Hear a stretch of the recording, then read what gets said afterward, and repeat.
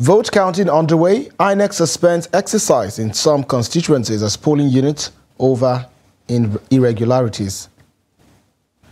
Escalating cost of grains leave many Nigerians dissatisfied. ISWAP fighters raid Borno police station, gun down officers. And on the international scene, dozens killed as Israel attacks on Rafah intensifies. Thanks for joining us on the News Hour on Trust TV. I am Sagir Ibrahim. Here's the news in full. The sorting and counting of votes is still ongoing in several polling units where rerun elections were held on Saturday in Plateau State. The electoral commissioner, the electoral commission rather, is overseeing elections for the Plateau North Senatorial District and Bassa Jos Federal Constituency, prompted by the nullification of Senator Simon Mwadkwon and Representative Musa Aga's election. Trust TV's Ado Musa completes the report. It's, it's, it's 9, 90, 91, 92, 93, 94, 95, 96, 97, 98, 99, 100. Vote counting has been initiated at various polling units in Garbadaho Ward, Jos North local government area of the state. The counting process commenced at 3 p.m preceding the arrival of agents from all participating political parties after voting concluded at some of the polling units. INEC is conducting court order rerun election for the Plateau North Senatorial District and Jos North Bassa Federal Constituency, where more than 614,000 voters are expected to exercise their franchise I have been speaking to uh, some of the voters at different polling units, and this is what they have to say. We do the election very peacefully. The election very, very peacefully. We do it very well. We don't have any problem for the election. And uh, we are we are pray for the who we vote. We pray for them to success for this election. And uh, want to thank God the exercise is going on well. The people are coming out to cast their votes. And uh, the ANEC uh, official they arrive here early no any disruption no any anything going wrong and uh, you can see can see people around now. People are still coming to cast their votes for their candidate. Wancan zaben da muka yi mu mutane sun fito da yawa ba amma wannan karan mutane sun fito da yawa. We are happy with the election because many people have come out to vote at this unit. We thank god for that. We pray that the winner will remember us when he gets to the office.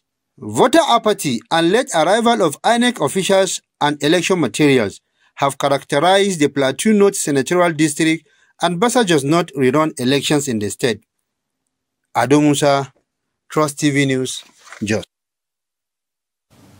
And voting has ended across six local government areas of Kano where a state assembly rerun election was conducted. Well, Trust TV's correspondent Idris Jibrin reports that the exercise was peaceful with no reports of violence or breakdown of law and order at the time of voting. His report.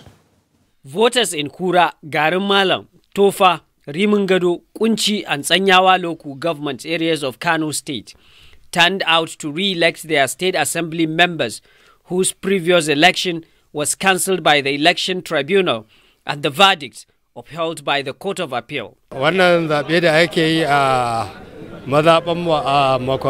You see, we came out here as early as 8 and the electoral materials were delivered in time and as you can see we are conducting our election peacefully. In these places there is no problem so far. We are doing our election. The people of Kura town are highly em uh, enfranchised and uh, they are exercising their franchise and uh, we see the real democracy in the process and people are coming en masse to come and cast their votes to their own choice. The election was generally peaceful in most areas visited as voters were seen conducting themselves in an orderly manner. According to voters in some polling unit, electoral materials were delivered as early as 7 a.m while voting commenced as exactly 8 a.m. and that no disruption was recorded throughout the process. Alhamdulillah, alhamdulillah, Allah subhanahu wa ta'ala godiya. I have just voted and uh, we thank God that everything is going on smoothly. There was no any problem so far. And I believe that uh, at the end of the day, the Independent National Electoral Commission will announce who the winner is going to be. Everybody that is eligible for election is coming to cast his vote as per his uh, constitutional right. So we thank God now things are coming back to order. Democracy is going to be established in Kano and in all 44 local government in Kano state. Anybody, even if you are voting NNPP, if you are voting APC, you are free to vote. Nobody will harass you, nobody will do anything for you. A rerun was ordered in six local government areas covering three state assembly constituencies by the tribunal, following some irregularities during the March 18, 2023 elections. Voters across the affected local government are now expecting results declaration from the electoral umpire. Idris Jibrin, Trust TV News, Kano. Amidst high security in participating polling units of Kaduna State, a rerun election has been conducted as voters expressed satisfaction with the peaceful atmosphere. Trust TV's Bello Musa, who closely monitored the election, reports a significant turnout of voters for the rerun exercise. I was a little bit late uh, coming here, but uh, I think I came here some few minutes after 8 and I met uh, everything has put in place. So I suggest maybe those things are there before it or exactly it. I came here early, but I met people here. I have been on the queue for an hour now. I am praying for peaceful election because I live here and I don't want rancor in our community. The experience I have since I've been here since around 8 o'clock to monitor this um, the election going on. And to the glory of God, everything has been going on fine. Though there are some issues here and there, some people have come. They're trying to buy some vote from for their own um, for their own candidate. But glory be to God, we were able to calm it down. I, I am praying for a peaceful election. Whoever emerges, we will accept it in good faith. Electoral officials at the polling unit also share the challenges faced during the process. The only challenge we have is uh, the challenge with uh, thumbprint, those that we can't have the official uh, verification. So we have uh, uh, some difficulties with the thumbprint uh, verification. As you can see, you have gone round and see we don't have any we don't have any challenge here. Yes. We're talking about um, accreditation in some places there could be facial recognition may not be there or thumb fingerprint. No, there is none here. If you can see, if you maybe I think you have must have gone around and uh, or you have uh, waited here for some time and see. There is no any challenge here. The BVAS is moving fast, and uh, we didn't have any challenge here. Okay. While urging the electoral umpire to ensure a credible election, voters appeal to the deployed security forces to maintain neutrality. I'm seeing it. This is the first time in the history of television. One polling unit is supposed to go over a rerun. And coincidentally, over like about, I can say about a hundred and something cars, like security. In fact, fill up in this area. I, have been shocked. I've really been shocked about it. The rerun election is taking place simultaneously in Kudan, Kaduna South, Chikun, Igabi, Kachia, Kagarko, and Kajuru local government areas of Kaduna State. Bello Musa, Trust TV News Kaduna. Still on the rerun election, voters in Bauchi State have expressed satisfaction with the conduct of the State Assembly rerun elections in the 42 polling units by the Independent National Ele Electoral Commission INEC. They made their feelings known shortly after casting their votes at the Madara Chinade State constituency in Katagum local government area of the state. Trust TV's Adam Wima completes the story.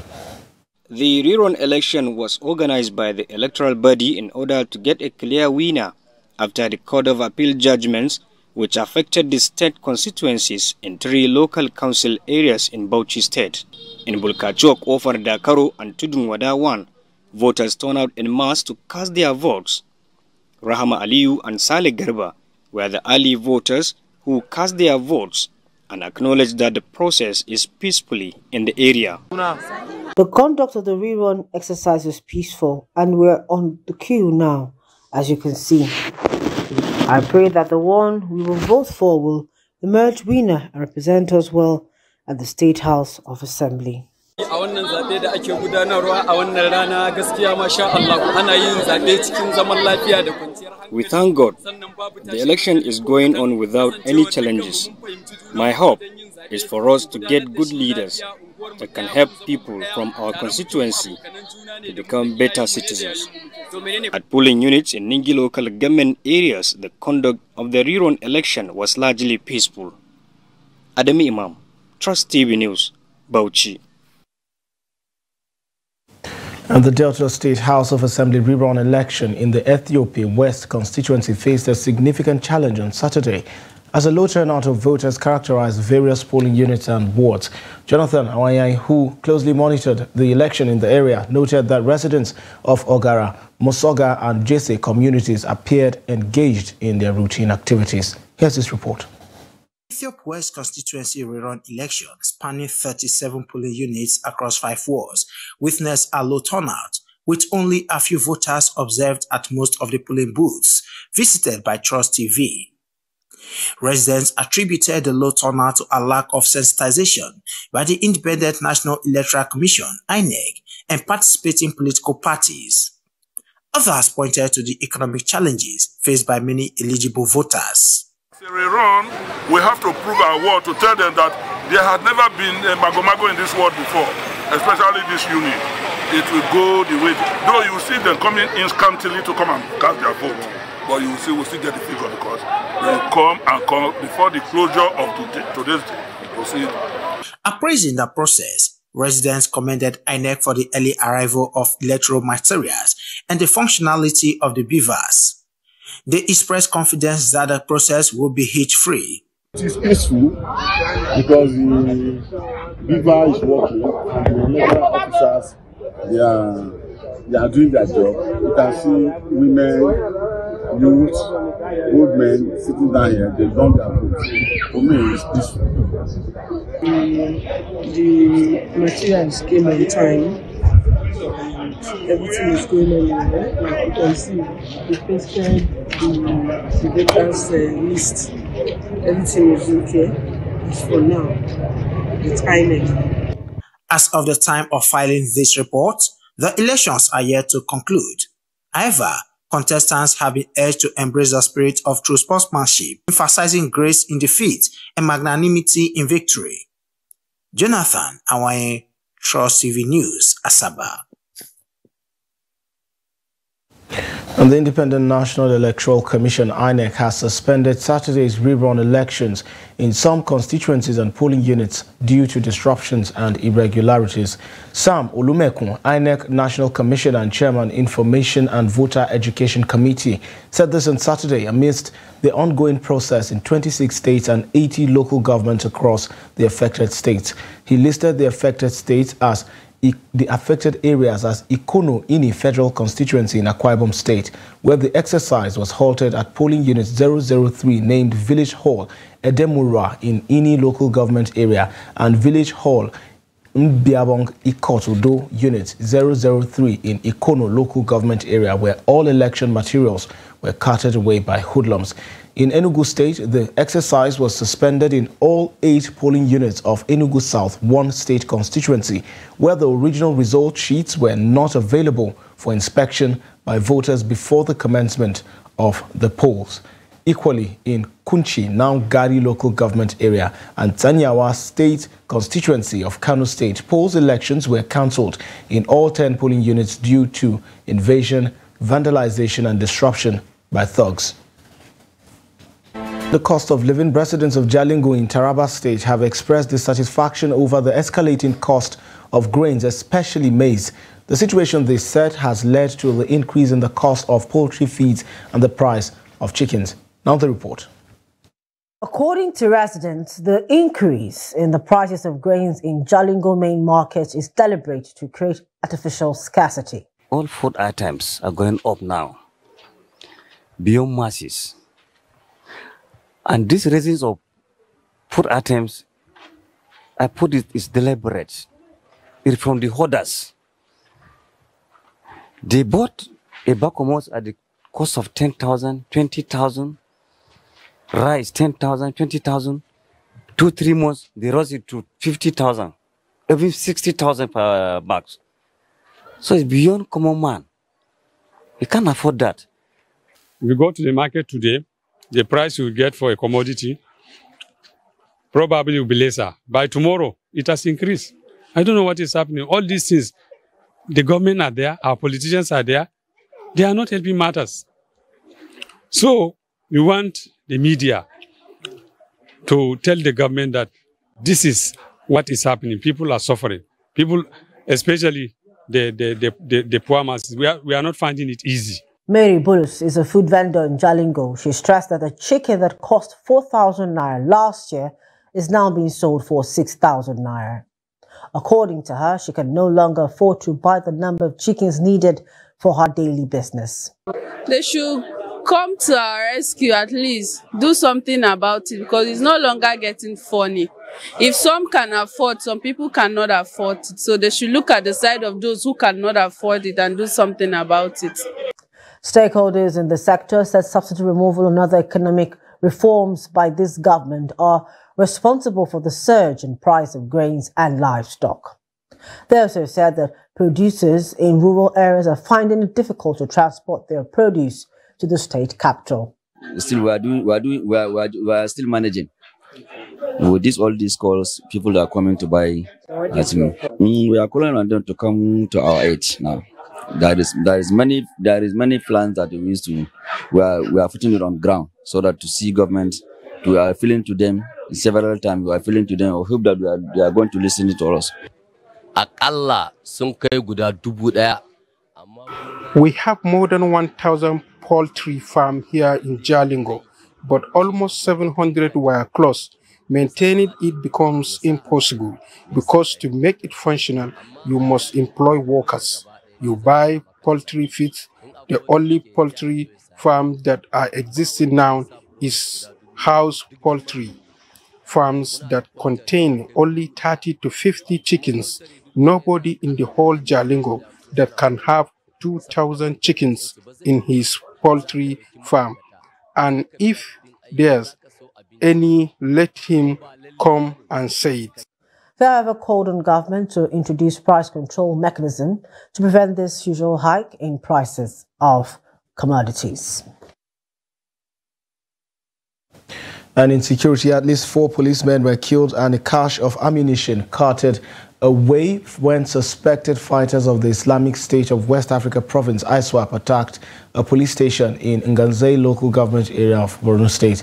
ISWAP fighters reportedly stormed the police station at Gajiram town, Nganzai local government, and opened fire on the policemen on duty. According to security sources, the invaders set ablaze parts of the station during the incident which happened late on Friday. A top security source said the invaders had left the scene before the military reinforcement arrived. As of filing this report, the police are yet to issue a statement on the incident. Borno has come under multiple attacks from insurgents at different times. And joining us via telephone now is Daily Trust Regional Editor Hamisu Matazu to give us an update on the incident. Welcome to the News Hour, uh, Hamisu. What news do we have so far? Has there been any reaction from the authorities and also from the police command in the state? Uh, thank you very much. Uh, for now, uh, we have not uh, gotten any uh, update from the police, nor the military. But uh, uh, if we recall very well, uh, last week similar attack happened in the same garden. The uh, the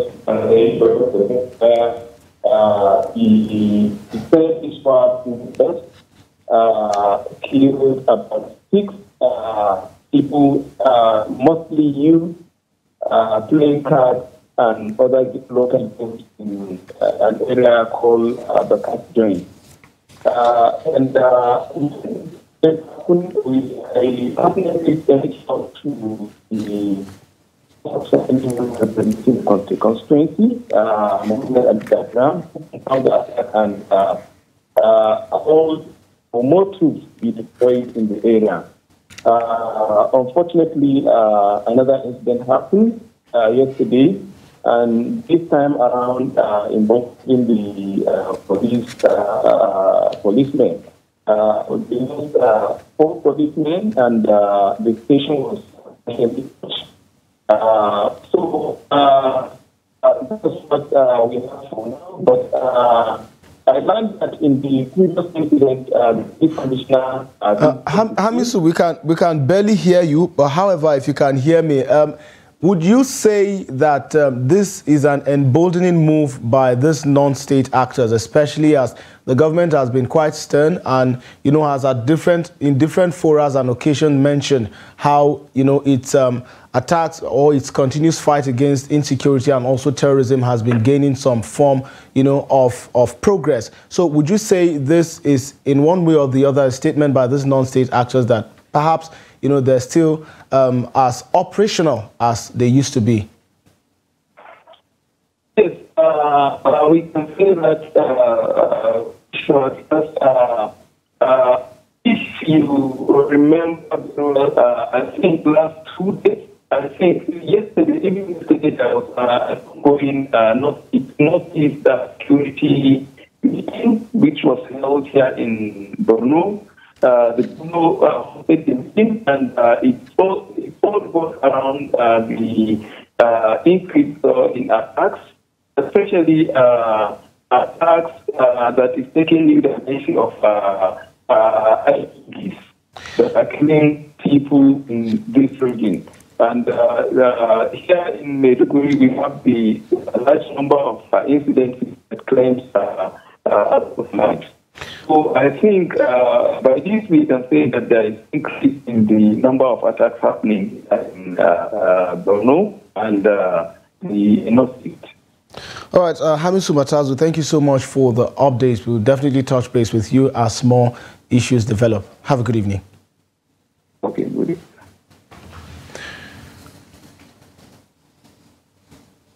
You're watching the news hour on Trust TV. Coming up shortly.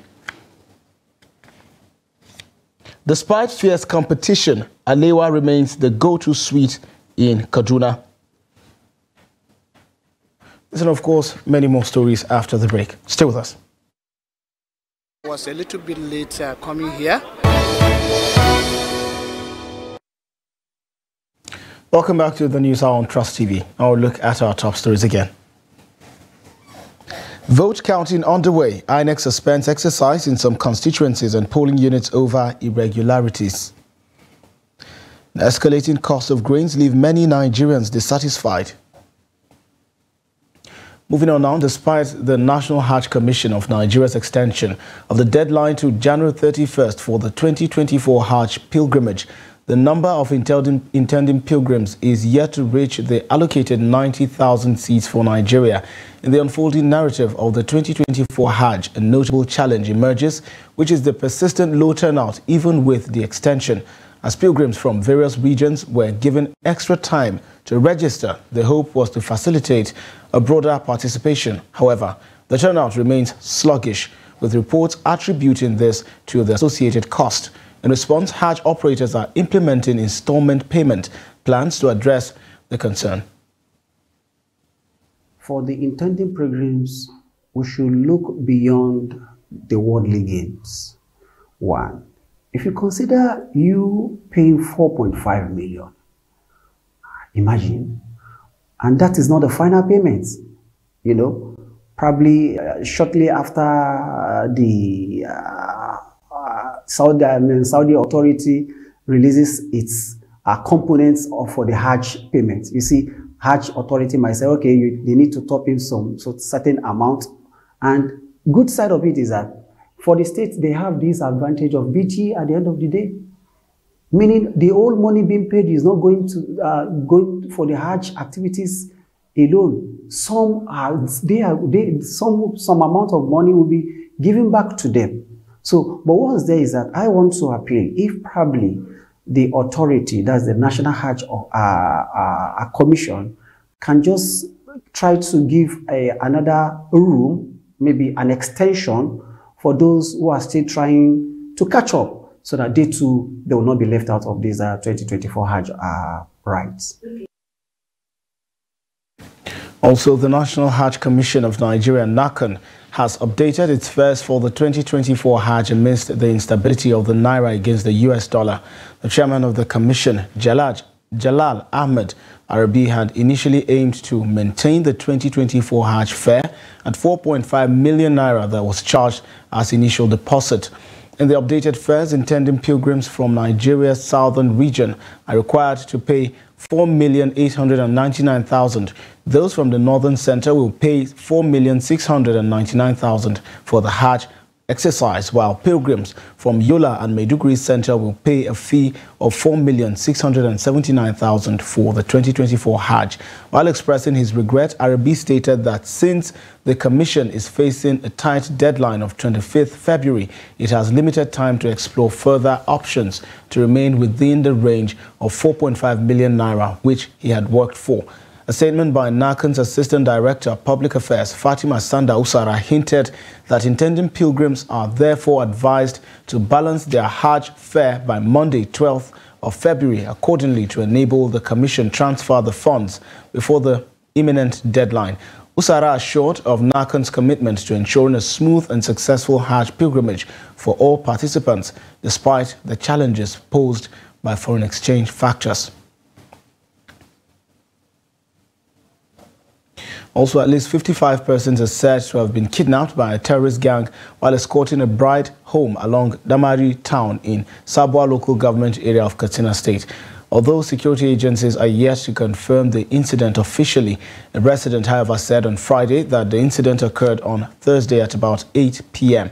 He noted that the Three security volunteers, however, lost their lives in an effort to rescue the victims. According to him, prior to the hoodlums attack, the victims who were on a Canter vehicle initially numbered over 70 and were mostly friends of the bride. Sabuwa, apart from being an agrarian area, also remains one of the security frontline local government areas grappling with the activities of bandits and other collaborators who are mostly informants. And joining us to give more updates in the situation in Katsina is Trust TV correspondent Abdullah Yamadi. Yamadi, good evening and welcome to the News Hour. What news do we have uh, pertaining to updates from the situation? Has the police responded to the incident? Has there been any word from the state government? Uh, hello, good evening. Well, yes. At the moment, uh, this evening, the spokesperson of Katsina State Police Command confirmed the attack and of course the abduction of 59 people uh, escorting a bride at uh, Sabuwa in Katsina State. Uh, what he did not confirm is the killing of seven people, uh, including uh, four vigilante members uh, during the attack. And residents of the area saying that uh, the abductees have been taken to an unknown destination. And uh, of course, they have started uh, making calls, uh, talking about the terrorists. They have started making calls demanding for ransom, even though uh, this has not been confirmed. And of course, like you know, Sabuwa is one of the frontline local government areas where the activities of bandits has ravaged most of the uh, communities there.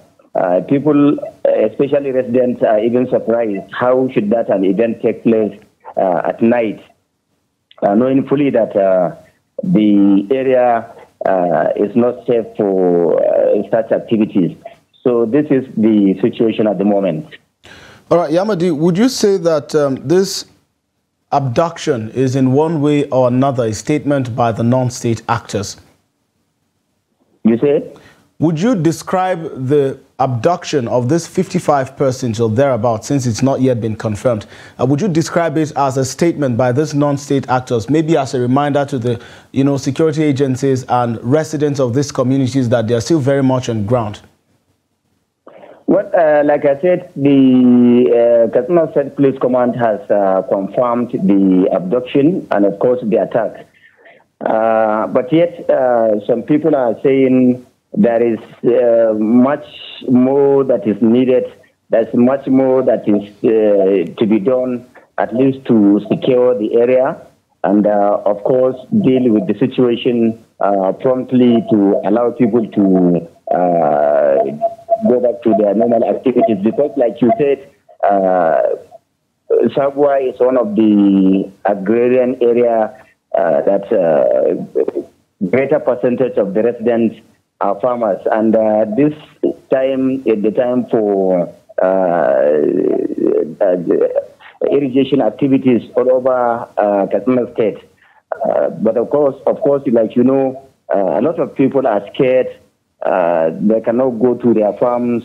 Uh, even with the encouragement being given by Katsina State government for farmers to engage in farming activities, at least to bridge uh, the existing gap uh, that was uh, recorded. Uh, As you know, during the wet season farming, many people were not able to access their farms. So it is expected that this time around, irrigation farming will uh, be done. And of course, it will bridge the existing gap of uh, food scarcity that we're experiencing at the moment. Well, all right, Yamadi, uh, but then before you go, have, have there been any directive from, say, the state government? Because in situations like this, we would expect um, the state government or the authorities to give out marching orders to the police and other security agencies to go into the forest, you know, in search of uh, the abductees and also the victims in order to ensure uh, their release. So have there been any such directive from the ranks? Okay, uh, from the state government, we have not had anything.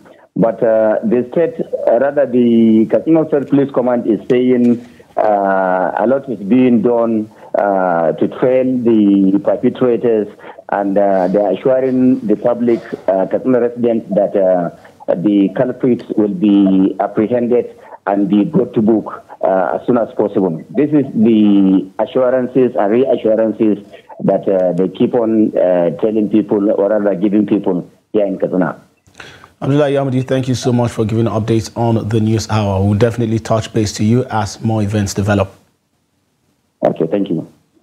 Moving on now, the Bauchi State Commissioner of Police, CP Awal Musa Muhammad, is calling for calm among the residents after an explosion destroyed an electricity high-tension transmission line in the Angwan Kanawa area of Bauchi metropolis. According to a statement by the Bauchi State Police Command, Police Public Relations Officer SP Ahmed Muhammad Wakil states remnant, rem, remnants of improvised explosive devices were discovered at the scene. Preliminary investigations revealed that a high-tension pole collapsed and was damaged due to explosives used by suspected vandals.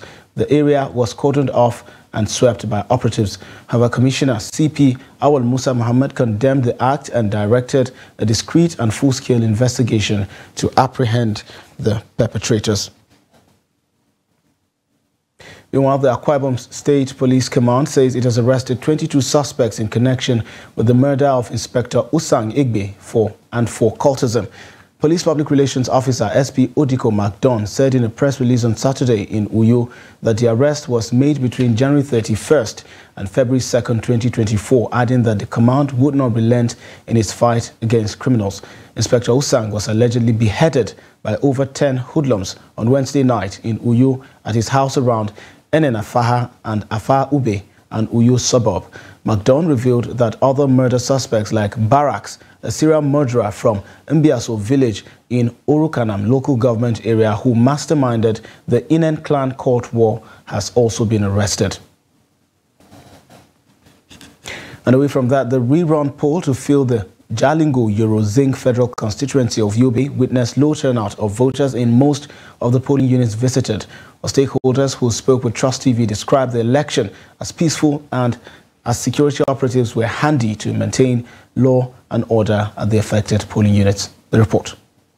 It was a day like no other in the recent past as marketplaces, shops and government offices were all closed with streets deserted.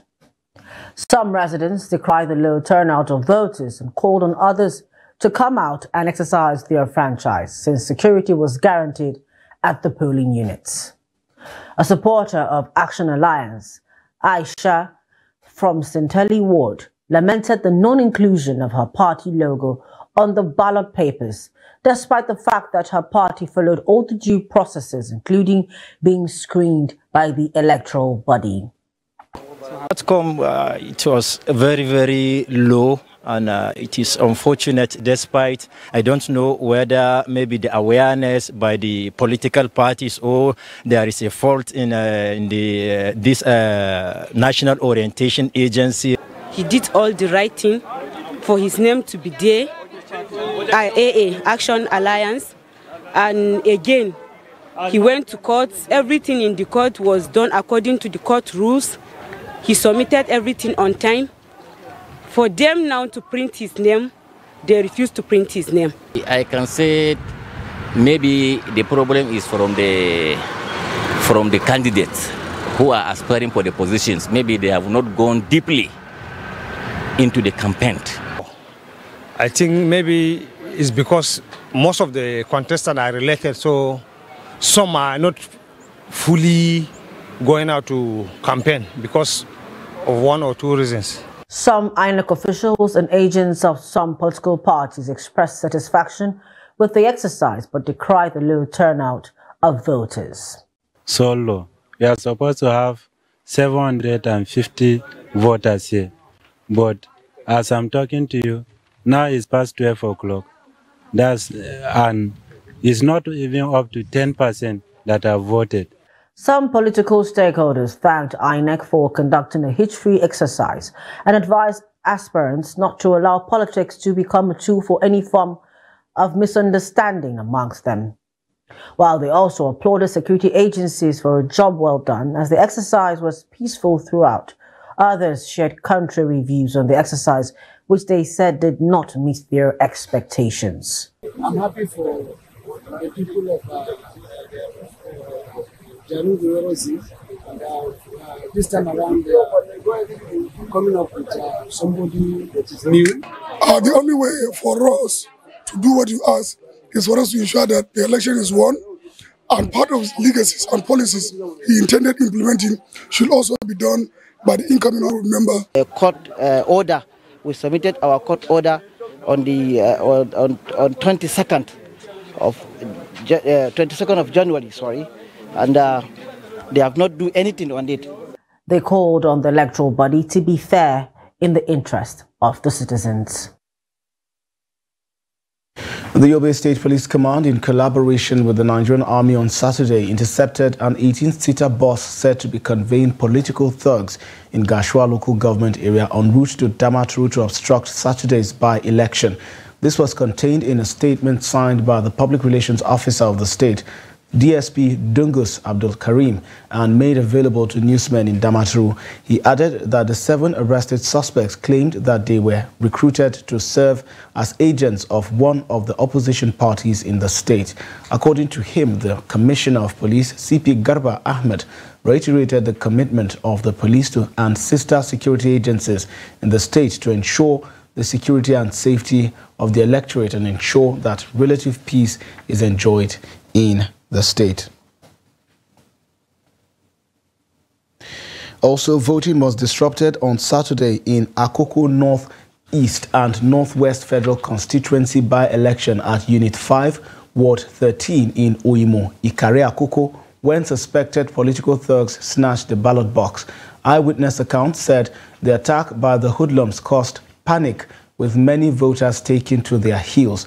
An eyewitness who craved anonymity said the attack occurred just before noon after not less than 63 people had cast their votes. He explained that while the hoodlums caused some commotion and security personnel at the polling units were trying to restore peace and order, one of them snatched the ballot box and fled the scene.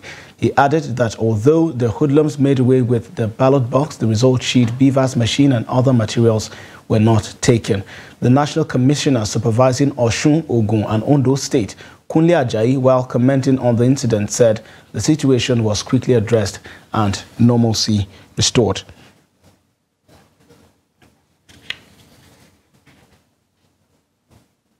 And despite the advent of modern production methods, local production of candy, popularly called alewa in northern Nigeria, is still thriving with many people earning a living from the business. This report tells the story of how a more than 50-year-old alewa production point at Tudun Wada in Kaduna South local government of Kaduna State has stood the test of time in a technology-driven production era. Trust TV's Bello Musa has more. Alewa is a popular local candy produced in northern Nigeria. Despite the evolution of modern machine-enabled methods of producing goods and services, Alewa makers in Kaduna and other parts of northern Nigeria are still practicing the old way.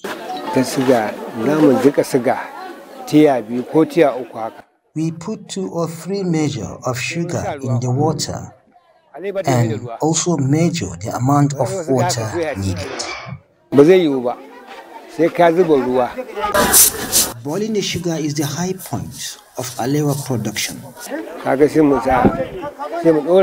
Before the water boils, we put lemon inside, which is the main ingredient that makes the alewa.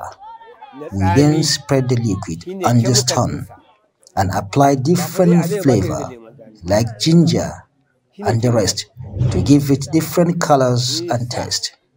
We then stripe it on the hook and keep pulling it until the size and the quantity increases. Then we remove it and put it inside a nylon. It stays in the nylon till the next day. Aliyu, who has been making for the past 40 years, says the current cost of living is threatening their business. When I started the business 40 years ago, we would buy a bag of sugar at the cost of 1,400 naira. But now, we buy a bag of sugar at more than 60,000 naira. Before now, you will see more than 100 workers and buyers here, and we used to start work from morning till night, exhausting more than 10 bucks in a day.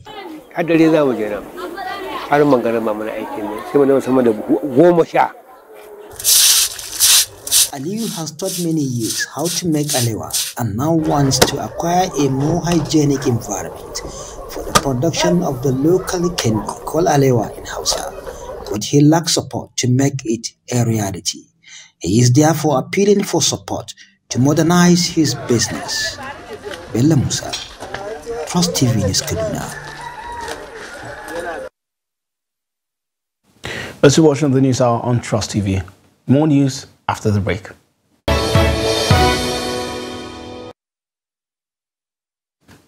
Welcome back. And in business now, the Central Bank of Nigeria has debunked media reports that it plans to convert an estimated $30 billion in depositors' domiciliary accounts to Naira.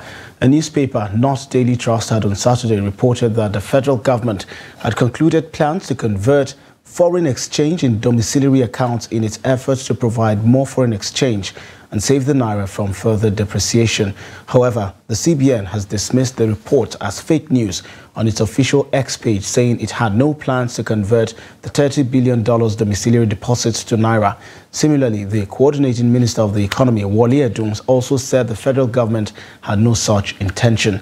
The minister, who said there is no iota of truth in the report, noted that such falsehood at a time when the government is working to restore economic stability and confidence in the national currency is tantamount to economic sabotage. Away from Nigeria, Israeli occupation forces intensified their attacks last night in the southern Gaza city of Rafah as their fighter jets struck three homes, killing 24 and wounding dozens, the Ministry of Health announced. Rafah is densely populated with displaced people from all around the besieged Gaza Strip. On Friday, Israeli Defense Minister Yoav Gallant confirmed that the Israeli army was preparing to move to Rafah. However, Israeli media reported on Saturday that Tel Aviv had pledged to Egypt it would not start an operation in Rafah before reducing its population. According to Israeli media, the Israeli government would move the displaced people to Khan Yunis or Deir al-Balah and not back to the northern part of Gaza. Israeli reports stated that this was proof the Israeli occupation army had forced residents from the northern part of Gaza to the southern part by a political decision intended to use them as a bargaining chip to in ceasefire talks.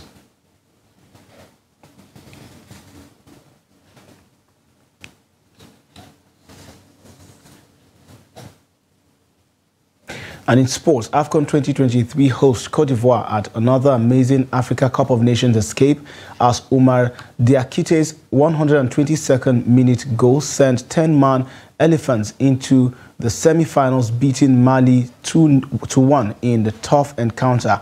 Cote d'Ivoire will battle DR Congo next. Meanwhile, Cape Verde versus South Africa is still goalless. The winner will face Nigeria on Wednesday in the semi-finals. And on a lighter note, a British boxer stunned Katsina residents in an organized local boxing locally known as Dambe in northern Nigeria. Or Dambe is a traditional sport which is popular among butchers in Hausa communities of northern Nigeria. Katsina residents were mesmerized by the British national who came all the way from England to display his boxing skills among local boxers. Abdullah Yamadi tells us more about the story.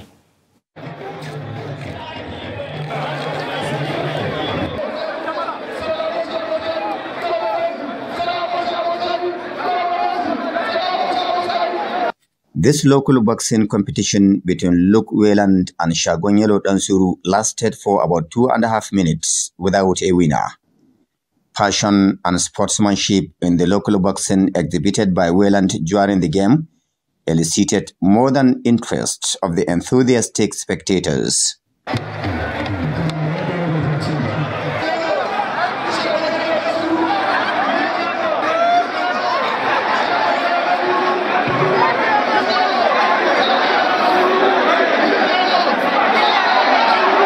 According to the organizers of the competition, the participation of the British national into the traditional boxing in Katsina was born out of interest and his passion for the Hausa culture.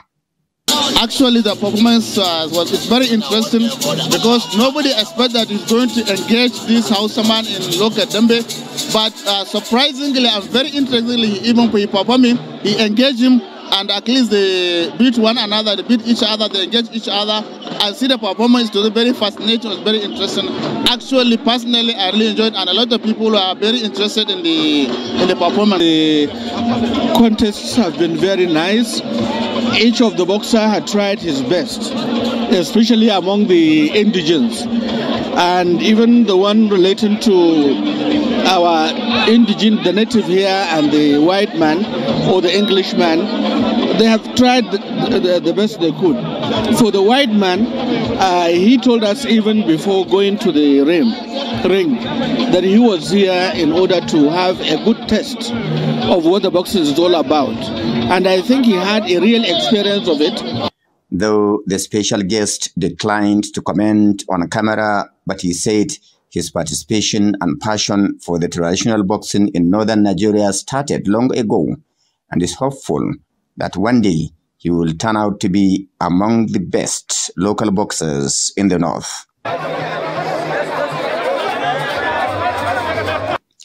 Beyond that, the British national said he was overwhelmed by the crowd that turned out to catch a glimpse of his encounter with Shagonyelo Dansuru calling on residents and the organizers as well as the custodians of this long-aged tradition to continue to promote Dambe because of its social and economic potentialities. Abdullahi Izuma Yamadi, Trust Television News, Katsina. And that wraps up the news hour on Trust TV. Do want to follow us across all of our social platforms and also catch Trust TV across our YouTube platform for more news, programs, and documentaries. I'm Sagir Ibrahim. Have a good night.